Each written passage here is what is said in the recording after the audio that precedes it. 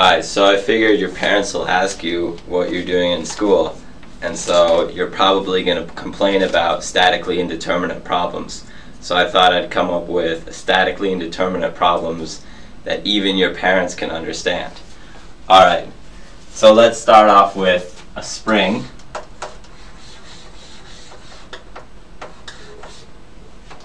Alright, and the spring's original length, we'll call that L naught.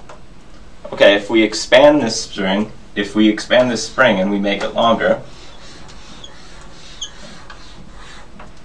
then it now has some new length, which will be L naught plus delta. And we know that for a spring, the force required to pull this is equal to the spring constant times the displacement delta. Okay, so if there's a force applied here, then there's also uh, an equal and opposite reaction by Newton's third law. So there's some reaction here, we'll call it Ra. So in this case, I pull with a, a force F, there's a reaction Ra, and the reaction Ra must be equal to F. So I have all the forces balanced here, and I have basically Hooke's law for a spring that tells me the, dis the distance this spring will expand if I apply some force. Okay, this is a statically determinate problem because the reaction here at A doesn't really depend on the spring constant K at all. However, I can make a different example where this is not the case.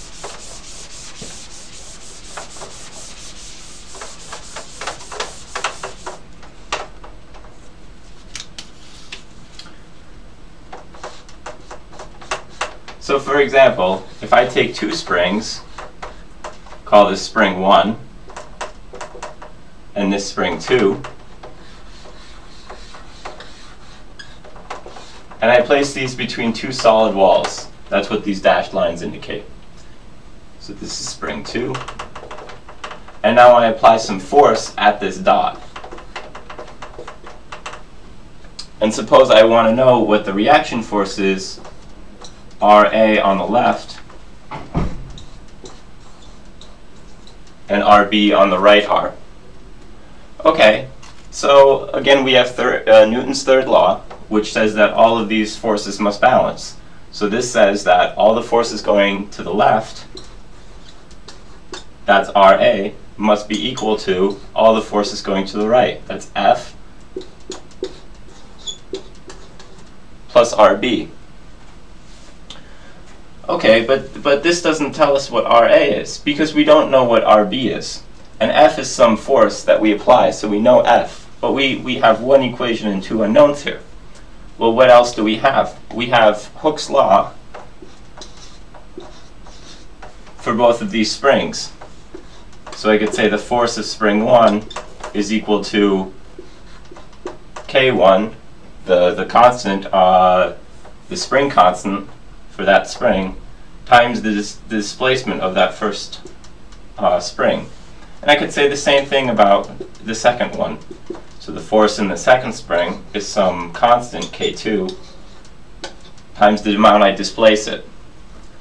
Okay, well what are, what are F1 and F2? Well if I wanted to I could make a little, uh, I could make a balance box, excuse me. So that means I, I make a box like this and I say, well, what, is, what does F1 have to be? That's the force at which I'm pulling this spring right here. Well, what is that? Well, F1 has to be balancing RA. So this means that F1 is RA. So I can just rewrite these as RA equals K1 delta 1. And I can make a similar argument about the second spring. So if I had this spring right here, and I asked what is F2, the amount that I'm pulling this spring, well F2 you can see is R, RB. So I'll replace F2 with RB.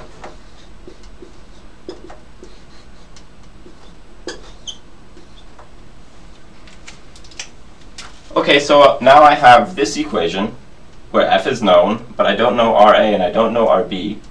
And now I have another, I have two equations, Hooke's law, for each one of my springs. But again, I have, uh, I, I don't know RA and I don't know RB, but I also don't know delta 1 and delta 2. So now I've got four unknowns and three equations. So I need one more equation to finish this up. And because these are solid walls, my last equation is going to tell me that the amount that I extend the first spring is the same amount that I have to contract the second spring. So the amount I extend the first spring is delta 1, and that has to be equal to the amount I contract the second spring. So that's negative delta 2. So again, things are positive. The, the sign convention in class has always been things are positive when you stretch them, and they're negative when you contract them. So this is, uh, this is our, our kinematic equation. Um, and now I have four equations and four unknowns, so I can solve this, and I'll solve it by taking equations 2 and inserting them into equation 3. So let me do that up top so you can see it.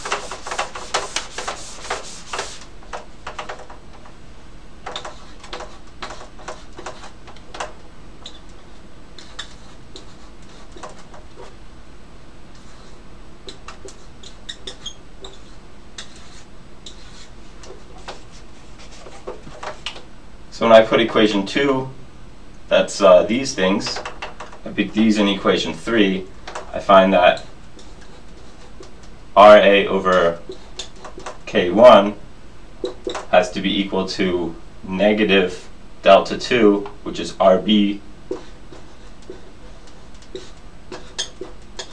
over K2.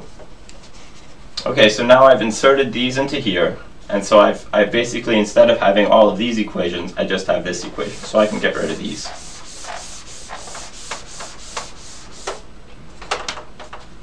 So these are equations 2 and 3 put together. So now I'm only left with two equations and two unknowns. So what I'm going to do is, since I want to find RA, um, I'm just going to take, um, I'll take I could do whatever I want really. But I'll take uh, RB and I'll solve for RB here. So RB is RA minus F. And then I'll take this RB and plug it into our new equation here. So I have RA over K1 is equal to negative RB, which is now RA minus F divided by K2. And I could bring this to the other side, so then I have RA uh, over K1 plus RA over K2. So I'll pull the RA out. That's got to be negative, negative F. So it's just F over K2. So then if I want RA, I can just divide by this.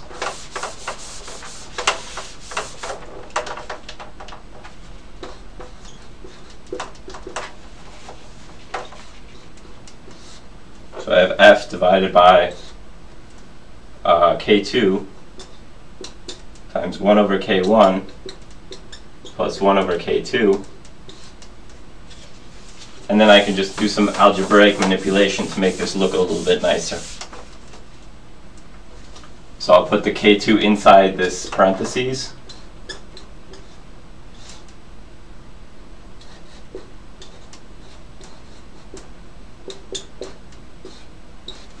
And then I'll multiply the top and bottom by K, K1.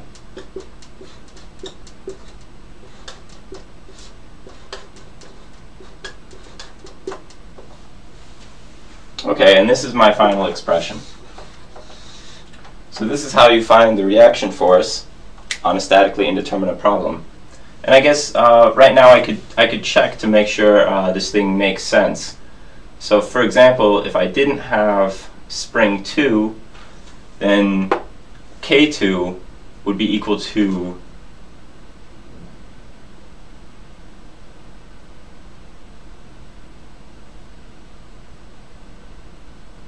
zero. And then I had, yeah. Alright. Goofed up the last part. Ah. That's just an F. I don't know where that subscript 2 came from. Anyway. So I've got F over this. So if I didn't have the second spring, then K2 would be 0, and then I would have RA equal to F, which is the same thing you would expect if you just had one spring.